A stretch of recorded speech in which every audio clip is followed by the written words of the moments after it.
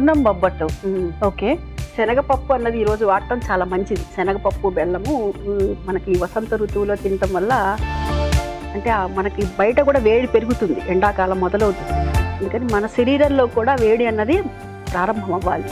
కానీ సమతుల్యంగా ఉండటానికి ఉష్ణం ఉష్ణేల శీతలం అన్నారు కదా? అందుకని మనకి ఈరోజు పూర్ణం బొబ్బట్లు చేసి చూపిస్తాను. ఓకే. ముందుగా బౌల్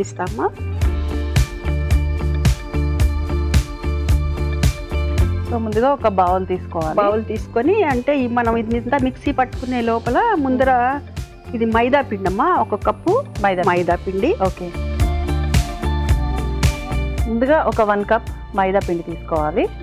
దాన్ని కొద్దిగా ఒత్తుడు పిండి కొంచెం అట్టు పెట్టుకోవాలి ఒత్తుకునే ఓకే. అనమాట అంటే చపాతీ కింద చేసుకున్నప్పుడు ఒత్తుకోవడానికి. ఒత్తుకోవటానికి. దీనికి సరిపడా ఎక్కువ ఉప్పు వేయకూడదు ఎందుకంటే ఇది తీపి పదార్థం కదా. అందుకని కొద్దిగా సరిపడా ఉప్పు వేయాలి.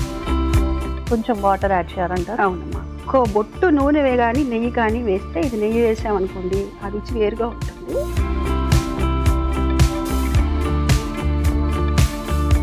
కొద్దిగా నీళ్ళు.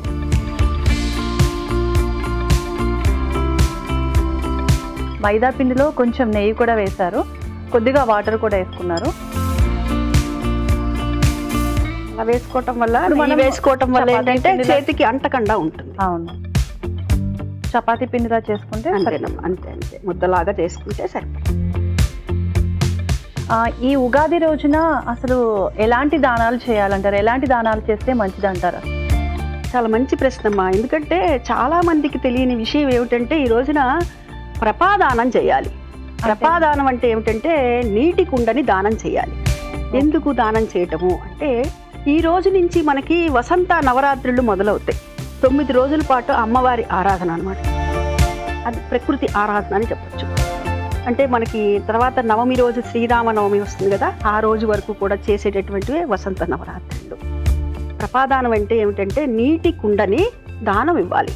ఎవరికి అంటే ఇంటి పురోహితులకు కానీ లేకపోతే దేవాలయంలో ఉన్నటువంటి అర్చక స్వాములు ఉంటారు కదా? ఓకే. అర్చకుడికైనా సరే నీటి కుండతో దానం ఇవ్వటం. ఇస్తే దీని వల్ల ఏంటంటారు ప్రయోజనం అంటే మన పూ- మన పూర్వీకులు ఎవరైతే ఇంట్లో తాత ముత్తాతలు గతించుతారో వారి పేరు మీద ఇవ్వటం వల్ల వంశాభివృద్ధి జరుగుతుంది. వారు ఎవరిని వారిని మనం ఏమంటామంటే పితృదేవతలు అంటాం. అవును. ఇప్పుడు మనం బయట లోకల్లో ఒక మాట వింటూ ఉంటాం కదా పితృశాపం వల్ల సంతానం కలగలేదు అని అటువంటివి ఏవి దరి చేరవన్నమాట. అందుకని పెద్ద వాడికి దాహార్తి కోసం ఏర్పాటు చేసిందే ఈ ప్రపాదానం అన్నది. చూసామ్మా ఇలా ఈ విధంగా మన చేతికి ఏం అంటుకోవచ్చు చూసారా? ఒక బొట్టు నెయ్యి వేస్తే? అవును ఈ విధంగా. దీన్ని కాసేపు ఇలా పక్కన పెట్టుకుందామమ్మా. తర్వాత తర్వాత మనం దీన్ని మిక్సీ వేసుకుందాము. ఓకే ఇది శనగపప్పు ఉడకబెట్టిందంటారా? ఉడకబెట్టిన శనగపప్పు ఒక కప్పు. ఇది ముందర మిక్సీ వేసుకున్న తర్వాత బెల్లం వేసుకోవాలమ్మా. లేకపోతే అది నలగదు.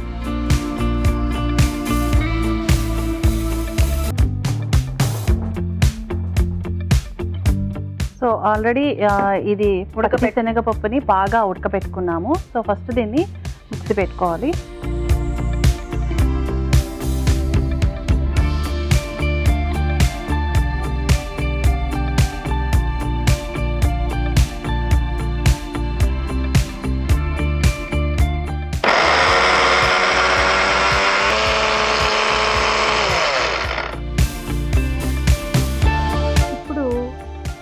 సరిపోతుందంటారా? ఇంకొకసారి అక్కర్లేదమ్మా. ఈ బెల్లం వేస్తే అప్పుడు అది ముద్ద అవుతుంది. ముందరే వేస్తే అది పప్పులు పప్పులుగా ఉంటుంది అనమాట ఓకే. సో తర్వాత వచ్చేసి బెల్లాన్ని కూడా ఇలా తురుము పెట్టుకున్నాను. ఈ బెల్లాన్ని కూడా వేస్తున్నాం. సో స్వీట్ కాబట్టి ఎలాగో మనం చేసుకునేది కొంచెం బెల్లం ఎక్కువ వేసుకుంటే బొబ్బట్టు అంటేనే స్వీట్. ఉంటుంది.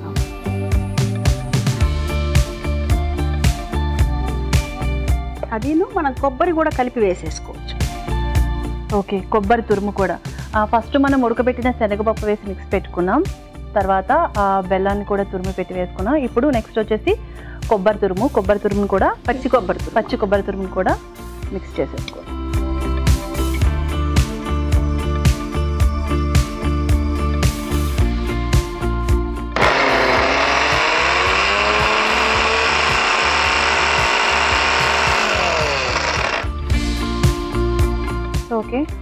రెడీ అయిపోయింది. దీన్ని మనం ఒక బౌల్లో ఆ బౌల్ ఇటీలమ్మా ఒక బౌల్లోకి తీసుకుందాం. సో అలా ఒక బౌల్లోకి తీసి పెట్టుకున్నాం కదా. ఇప్పుడు అది అప్పడాలి కర్ర అది. ఇప్పుడు స్టవ్ ఆన్ చేసుకుని ఓకే. ఇప్పుడు స్టవ్ ఆన్ చేసుకుందాం. ఫస్ట్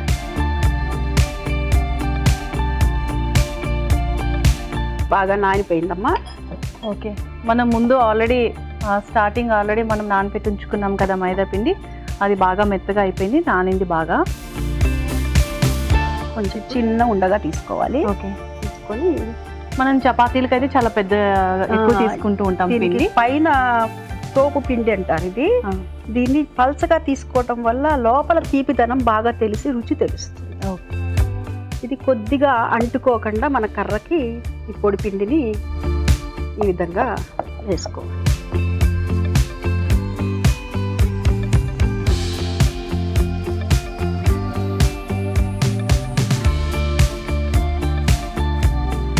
ఇది అయ్యేటప్పటికి ఇంకొకటి మనం చేస్తాం చాలామంది ఏంటి అంటే ఇప్పుడు మనం చిన్న చపాతీలా చేసుకున్నాం ఈ పూర్ణం అందులో పెట్టుకున్నాం అప్పుడే నెయ్యి వేసేసి మొత్తం అంతా ఇట్లా కాల్ కాల్చుకుంటూ ఉంటారు కదా.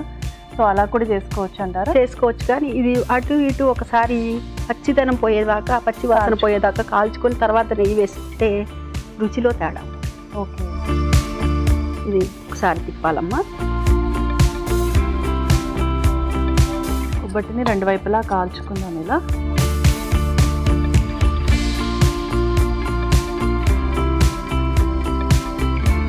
ఈ ఉగాది రోజు ఇంకా ఎలాంటి దానాలు చేస్తే మంచిది అంటారు ఎలాంటి మంచి పనులు చేయాలంటారు?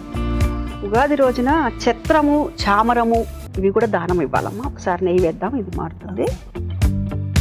సో బొబ్బట్టు అంటే బొబ్బట్టు రెండు వైపులా కాల్చుకున్నాం కదా కొంచెం నెయ్యి కూడా వేసుకుందాం.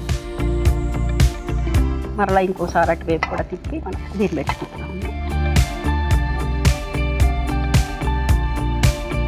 సో రెండు వైపులా నెయ్యి ఎంత ఎక్కువ వేసుకుంటే బొబ్బట్టు అంత టేస్టీగా ఉంటుంది ఇది చల్లారిన తర్వాత కూడా వీటిపైన మనం వేడి వేడి నెయ్యి వేసుకొని తింటే ఓకే. చాలా రుచిగా సో కొంచెం కాలనిద్దామంటారా? సరే కాల కాలాలి.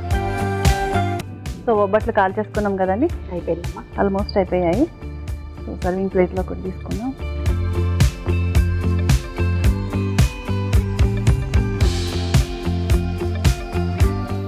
స్టవ్ ఆఫ్ చేసుకోవచ్చు అంటారా.